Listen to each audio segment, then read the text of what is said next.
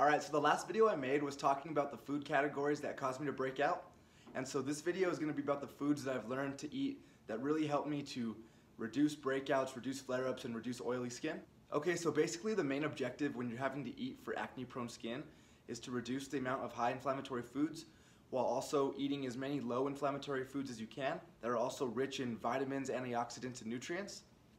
And so that's basically my whole goal whenever I'm going to the grocery store to pick food or whenever I'm cooking here for myself or even if I go out to eat somewhere, I try to eat things that are the most low inflammatory as possible. So for example, for breakfast, instead of eating a bowl of cereal or a Pop-Tart or waffles or pancakes or something like that, you're gonna wanna eat something whole and not processed. Like for example, I will eat um, four to five eggs with bacon and potatoes. And potatoes are probably the most high glycemic food in my diet but they're natural, I mean starch or vegetable. They're not processed high glycemic, so it doesn't really cause me any issues. But other than that, eggs and the bacon are very low glycemic, and I get um, pastured eggs from Whole Foods that have the highest omega-3 to omega-6 ratio because of the way the chickens are fed. And then I also get uncured, like no sugar or sodium added bacon. I know bacon's not necessarily the healthiest food for you, but it also doesn't cause me to break out. But you also don't have to eat eggs and bacon and potatoes for breakfast. That's just an example that works for me. You could eat um, a bowl of fruit. You could have carne levada. You could have anything like that. I find that the obviously the tortilla in a breakfast burrito causes me to break out because it's very high glycemic and processed. But basically, as long as you're avoiding the high inflammatory processed foods for breakfast or any meal of the day, you're gonna be okay. So it doesn't matter if you're eating um, like a fruit bowl or eggs and bacon or some carne levada with tomato and lettuce. It doesn't really matter as long as you're avoiding the cereal, Pop-Tarts, waffles, pancakes, things like that. Also, when cooking eggs and potatoes, you want to make sure we're avoiding the high inflammatory cooking oils, so the hydrogenated oils like canola oil, vegetable oil, corn oil, soybean oil, things like that, and cook either in coconut oil or olive oil or even avocado oil. Those are going to be the lowest inflammatory cooking oils with the highest omega-3 to omega-6 ratio. So for snacks in the day, I normally try to just eat fruit or salad. So I'll either have like a nectarine, a banana, a pear, an apple. Or if I'm not eating fruit for a snack, I'll have a little salad with, salad with some like lettuce, spinach, tomato, bell pepper.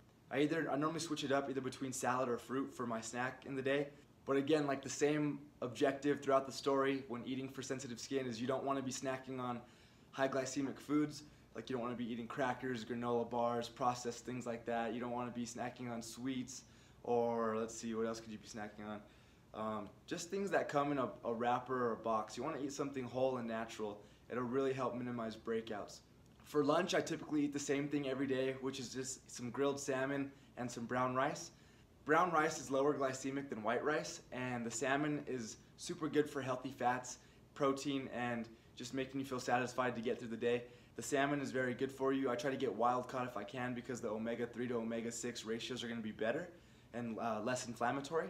And then for dinner, I'll basically eat like a chicken vegetable stir fry with a little bit of rice. So I'll use some olive oil again to cook up some chicken and some vegetables. I normally put broccoli, mushrooms, um, cucumber, uh, bell pepper, and that makes a really low inflammatory, very healthy meal. And so the cool thing about eating low inflammatory for skin, for skin problems, is that it's also very good for you just in general for your overall health. So there's sometimes a lot of confusion regarding fruits because fruits technically are more high glycemic because they have a lot of natural sugars, but the key word there is natural. So I mean the sugars aren't processed sugars and they're they're high glycemic because they're natural sugars, but they also have a lot of antioxidants. Uh, fruits are packed with tons of vitamins, and so you need those vitamins to promote healthy skin. And so I normally eat fruit every single day and it doesn't cause me any issues with breakouts. Sometimes I'll have a fruit salad with pineapple, strawberry, um, blueberry, and I'll just snack on other fruits throughout the day. Um, I think as long as the, if you have high glycemic foods that are natural, it's not going to cause you nearly as much of an issue as high glycemic foods that are processed. So a banana versus a granola bar, a granola bar is going to cause you way more um, flare-ups and breakouts than a banana. So I wouldn't worry too much about the high glycemic foods that are natural. You don't want to eat low glycemic foods that support gut health and the microbiome. And so I kind of talked about this in the antibiotic video about acne. You want as many good bacteria in your stomach as possible.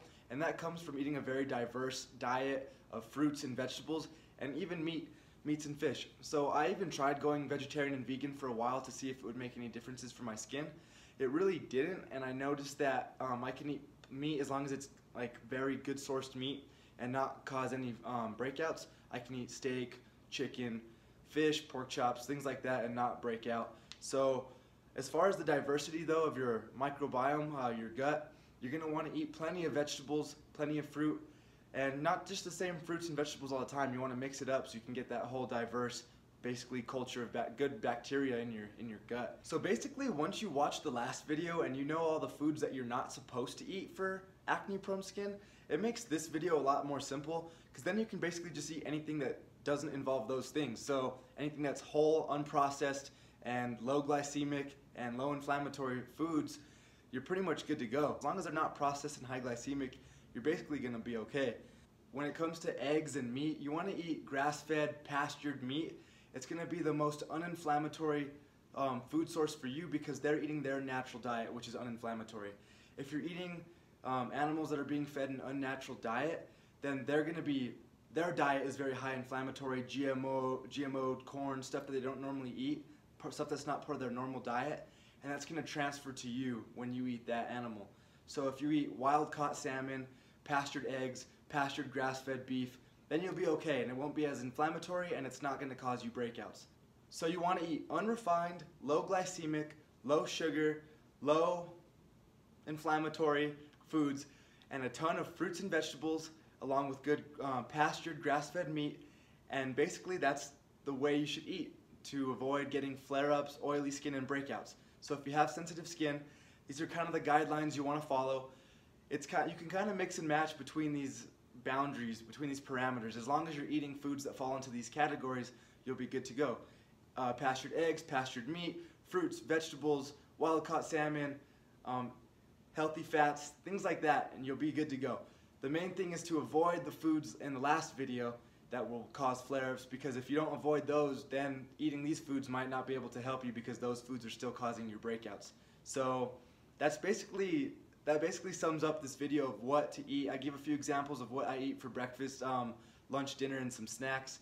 It becomes basically common sense once you know what foods to avoid. So I hope this video was helpful. If there's something you didn't think I covered, um, go ahead and put it in the comments below, and I'll make sure I answer that for you.